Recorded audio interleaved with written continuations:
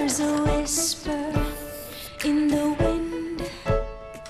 Something's going on among the leaves. I can't put my finger on it, but it's calling out my name. There's no mistaking what this day has to say. It whispers in my ear and says, Why don't you come